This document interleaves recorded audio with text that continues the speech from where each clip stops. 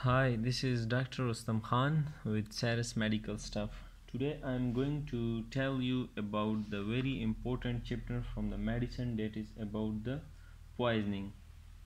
It's a very important chapter. Majority of the students leave this chapter on a choice. They think that it's not important from the exam point of view. But believe me, this is too much important chapter both from exam point of view and both from clinical point of view even majority of newly inducted house officer and medical officer do not uh, know that how to handle the case of poisoning so i'm going to cover this chapter both uh, from clinical point of view and exam point of view.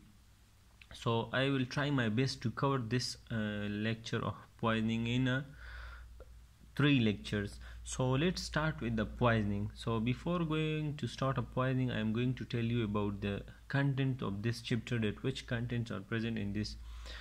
So poisoning by there are different method or different uh, things which cause poisoning. So first is a poisoning by specific pharmaceutical agent.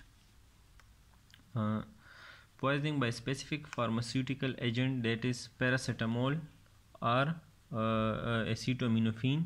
Second is salicylate or aspirin and third is tricyclic antidepressant. The fourth one is a lithium and the fifth one is iron. The second class is a drug of misuse which can also cause poisoning like cannabis also called marijuana and the benzodiazepines. Third is a cocaine and the fourth is opioid Number third is chemical pesticides. In chemical pesticide, it's a more common practice for suicide attempt in China. This is a carbon monoxide, ethylene glycol, methanol poisoning, and organophosphorus poisoning. The fourth is venoms poisoning. Venoms poisoning like uh, uh, due to snake bite or scorpion bite. Now let's see. But before going to uh, start it uh, specifically from uh, specifically each poisoning in a detail i'm going to tell you some method of management which we should we must know it.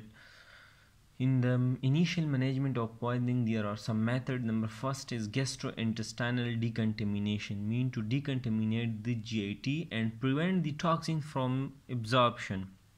So in this we have uh, the first one is activated charcoal in case of activated charcoal what do the activated charcoal? Activated charcoal absorb toxin in the uh, gi tract as a result of large surface area. It having large surface area so it prevent absorption of toxin.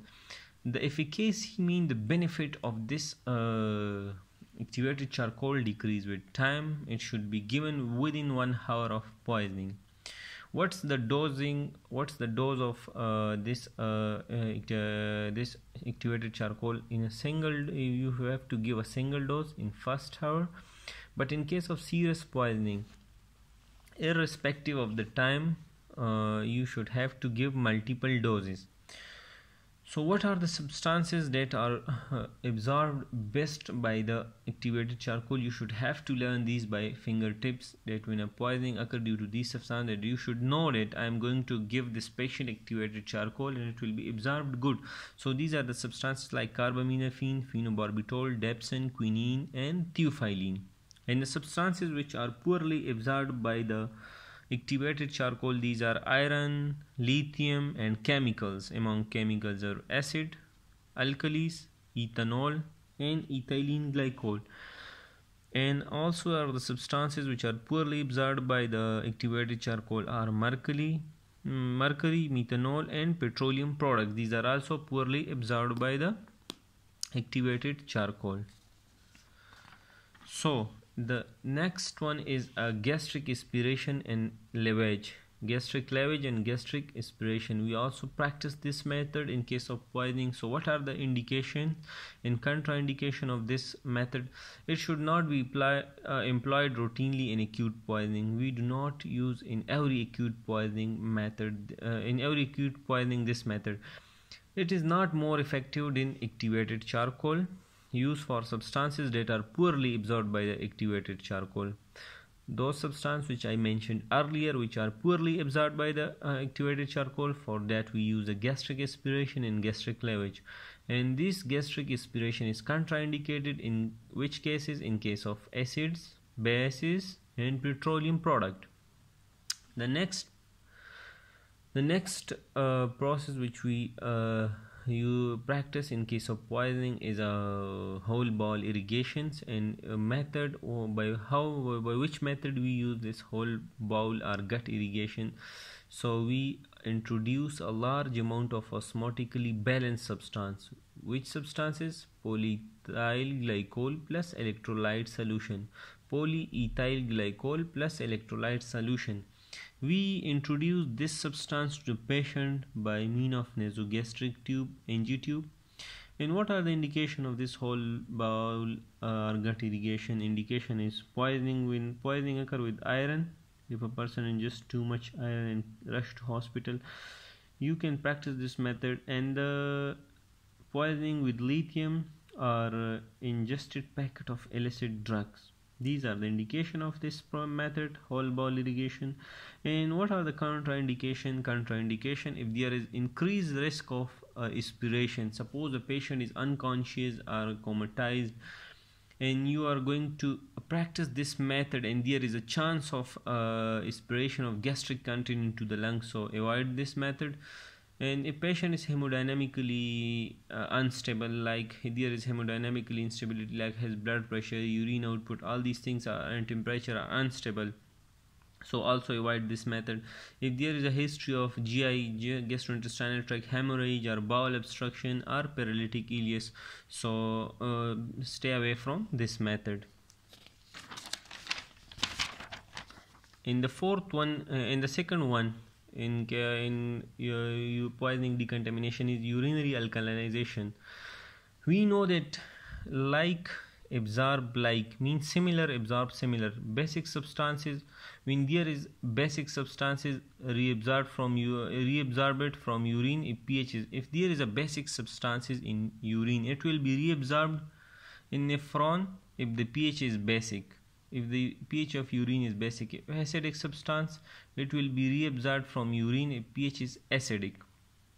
So therefore to facilitate urinary excretion mean to ex to facilitate the excretion of poisoning we have to make this environment dislike for absorption. So we do what? Uh, in case of acidic substances we drop the pH of urine. Urine pH should be alkalinized mean in a basic range above from 7 above from neutral toward the basic the pH should be more than 7.5 it is achieved by administration of sodium bicarbonate. By mean of what thing we drop the uh, we increase the pH make it toward the basic side by introduction of sodium bicarbonate.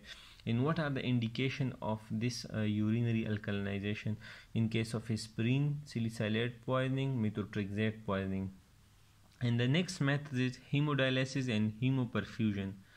It enhances the elimination of small volume of distribution. If there is small volume of distribution or long half-life if someone ingests a poisoning or uh, overdose of therapeutical drugs and its half-life is too long so we can use the hemodialysis process and hemoperfusion.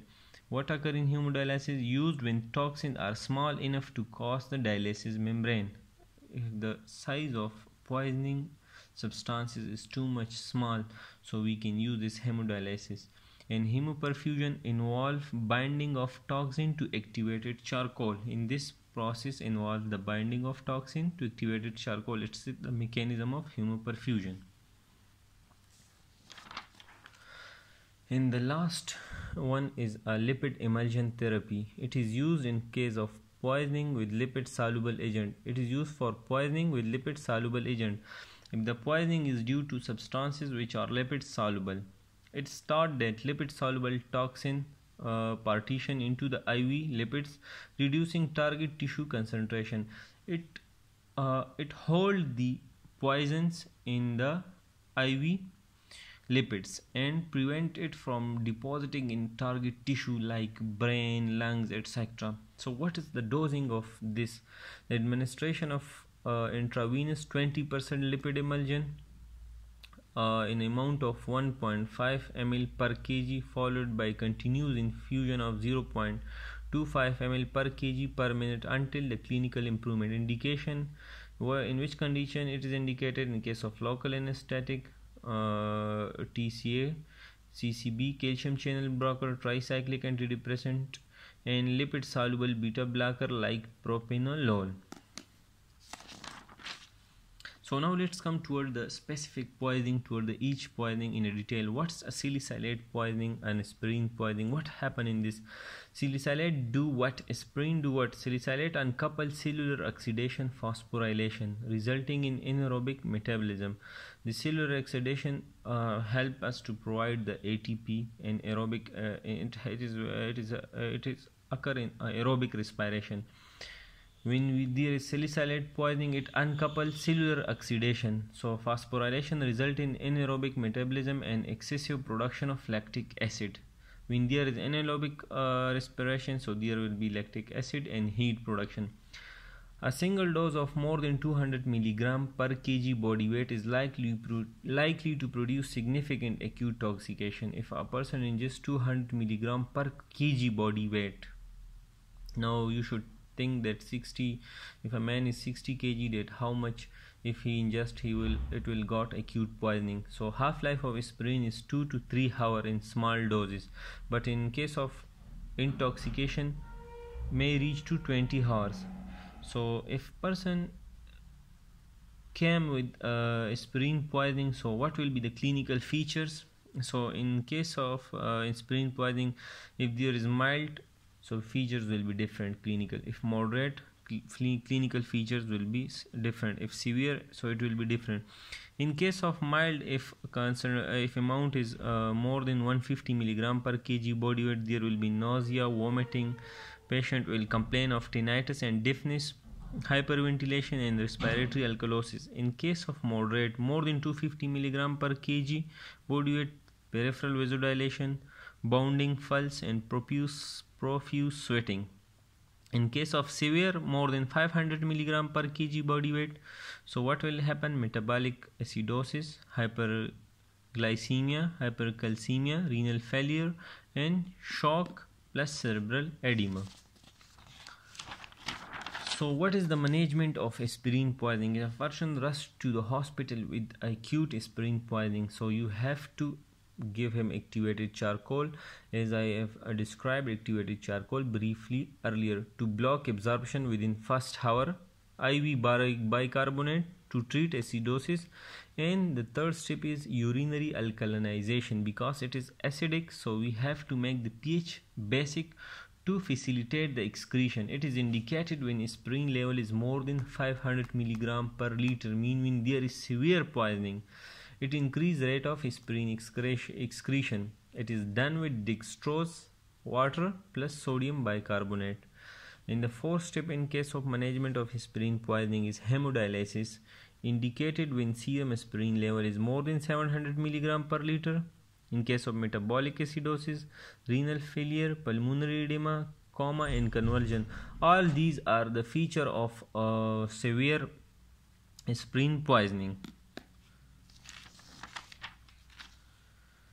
The second one is tricyclic antidepressant. So what these do tricyclic antidepressant uh, poisoning is associated with high morbidity and mortality relating to their sodium channel blocking effect and anticholinergic effect and alpha blocking effect. So due to these three sodium channel blocking effect anticholinergic and alpha blocking effect its mortality is very high.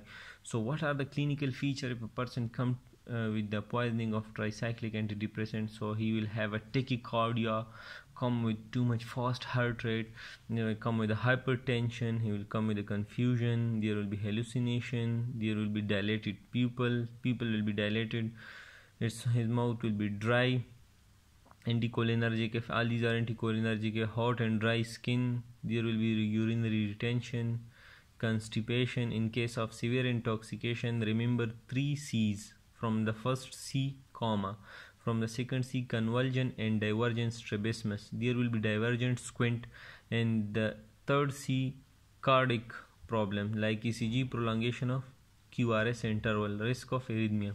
So what's the management of tricyclic antidepressant? So 12 lead ECG and cardiac monitoring for at least 6 hour, IV sodium bicarbonate uh, in in management there is uh, ECG is very important. Cardiac monitoring is very important because it effect on the because it having a, um, uh, alpha blocking effect. So cardiac monitoring is very important. Uh, introduction uh, administration of sodium bicarbonate IV uh, what the sodium bicarbonate do in this case? It protect heart against arrhythmias. Unlike aspirin toxicity bicarbonate does not increase urinary excretion of TCA tricyclic antidepressant so what are the indication of uh, sodium bicarbonate in case of this uh, tricyclic antidepressant? When there is arrhythmia and acidosis. So mm, then introduce uh, administer the iv sodium bicarbonate. In the second uh, thing in management in the third the third step in uh, management of uh, tca poisoning is adequate oxygenations. You have to provide adequate oxygenation to patient. Iv benzodiazepines IV benzodiazepine is very important for prolonged convulsion. If convulsion is prolonged, you have to give IV uh, benzodiazepine. Lipid emulsion therapy in severe and intractable uh, poisoning. And the next one is lithium. Lithium, we use this in a bipolar disorder. Its toxicity usually result of therapeutic overdosing, uh, chronic toxicity, then self poisoning. It's uh, it used in case of suicidal attack or self poisoning is is less but its poisoning is due to therapeutic overdose. So what are will be the clinical feature of the lithium poisoning? It will be polyuria thirst diarrhea vomiting dizziness tremors muscular weakness myoclonus fasciculation and choreoathetosis in case of severe poisoning, there will be coma, convulsion, ataxia, cardiac arrhythmia, blood pressure disturbance, and renal failure.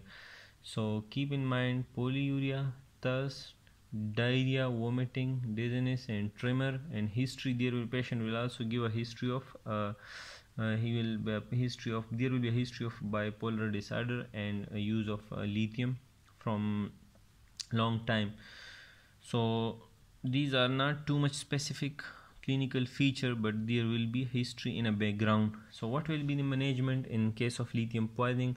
Forced diuresis with sodium by uh, sodium chloride 0.9% is effective in elimination of urine you have to introduce diuresis forced diuresis so that this product excrete from the body Dialysis is a treatment of choice and is indicated when the lithium concentration is more than 4 millimole per liter after chronic poisoning. we use dialysis when the uh, substances of poisoning is very small and able to cross the membrane of uh, dialysis. Lithium, if lithium concentration is more than 7.5 millimole after acute poisoning. So in these two cases, uh, on basis of concentration, we use the dialysis.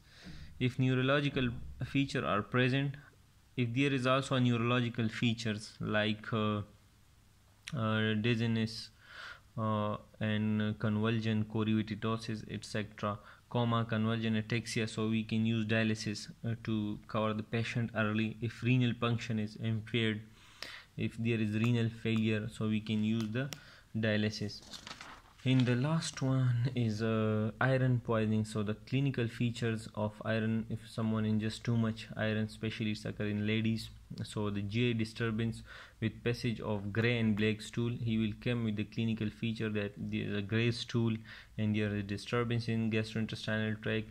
He will be having a, a, a complaint of hematemesis mean bleeding in the vomiting and rectal bleeding hyperglycemia and leukocytosis his WBC count will uh, increase. Hyper there will be hyper in case of severe poisoning there will be drowsiness convulsion coma.